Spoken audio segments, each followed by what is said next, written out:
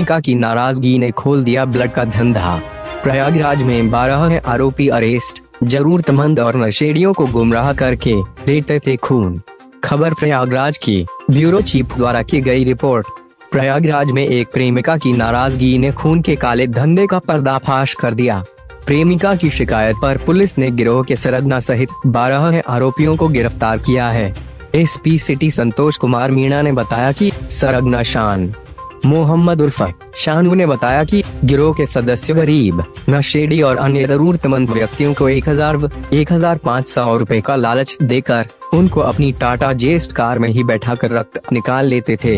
इस ब्लड के बैग पर कूटचित ब्लड बैंक की स्लिप चस्पा कर फर्जी रशीद तैयार कर सात से दस हज़ार रूपए में बेचते थे।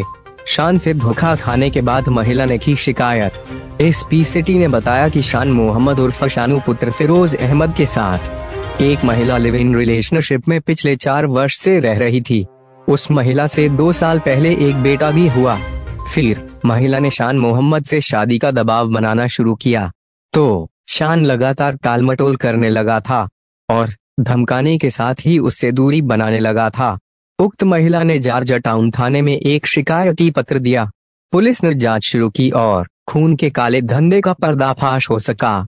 दिए गए जानकारी अनुसार टाटा जेस्ट कार में ही ब्लड निकालने की थी व्यवस्था। पुलिस ने आरोपियों से पूछताछ की। तो पता चला कि गिरोह के सदस्य ब्लड निकालने के लिए जैसे ही किसी व्यक्ति को जाल में फांसते थे, सबसे पहले उनका केवल ब्लड ग्रुप पता करके टाटा जेस्ट कार में ही बैठा कार रक्त निकाल लेते थे। इसके बाद उस ब्लड को फ्रीज में एकत्र कर लेते थे। पुलिस ने इनके पास से अवैध रक्त की बड़ी खेप, करीब 128 यूनिट ब्लड टीबी सप्रू अस्पताल की तीन कूट सचरित ब्लड बैंक की रशीद। विभिन्न ब्लड ग्रुपों की बेची गई और 350 स्लिप टाटा जेस्ट कार में बरामद किया है। वही गिरफ़्तार आरोपियों में एक शान मोहम्मद उर्फ़ शानू पुत्र फिरोज अहमद, थाना झुंसी, किराए का कमरा लेकर अल्लापुर में रहता है। गिरोह का सरगना दो, मोहम्मद इमरान उम्र, इक्कीस वर्ष पुत्र फिरोज अहमद, थाना झुंसी, प्रयागराज तीन हनीफ उर्फ़ फिरोज उम्र अट्ठाईस वर्ष, पुत्र बेचू उर्फ़ सलामत, निवासी, जिला महराजगंज, हालपता, ससुराल।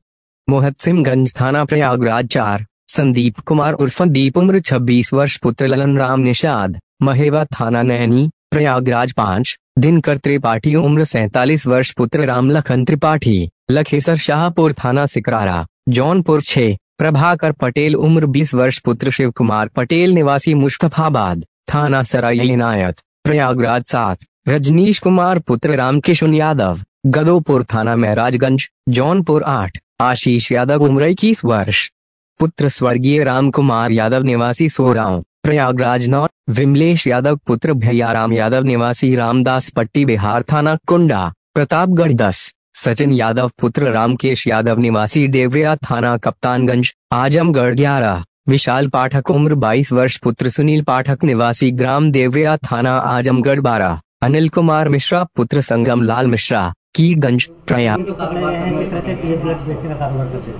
ये एक बड़ा रैकेट ब्लड सप्लाई का पकड़ा गया है। इसमें एक मोहम्मद शान है, उर्फ़ शानू, जो मेन इसका सरगना है। उनके द्वारा इस तरह का ये कार्य 2018 से किया जा रहा है। लगभग चार साल हो गए हैं। उनके द्वारा कुछ जो गरीब लोग हैं, auto driver, e rickshaw driver या इस तरह के जो लोग हैं, उनको ऑफ़र दिया जाता है कि हज़ार पंद्रह सौ रुपये में वो अपना थोड़ा एक या दो यूनिट जितना दे सकें ब्लड दें।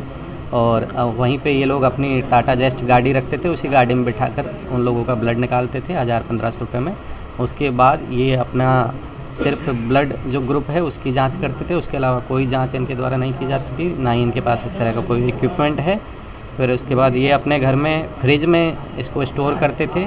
इसके बाद हॉस्पिटल्स जो मेजर हॉस्पिटल्स हैं वहाँ पर ये अपने लोगों को रखते थे जो ये इंश्योर करते थे किसी को अगर ब्लड की ज़रूरत हो कोई पेशेंट उनका भर्ती हो तो उनको ब्लड की ज़रूरत हो तो ये अपने पास आ, उनको भिजवाते थे और अपने यहाँ से इस तरह का ब्लड जो हॉल ब्लड है वो सप्लाई करते थे। कितने लोग इसमें टोटल बारह लोग पकड़े गए हैं। जो मोहम्मद शाम शान हैं उसको मिलाकर टोटल बारह लोग हैं।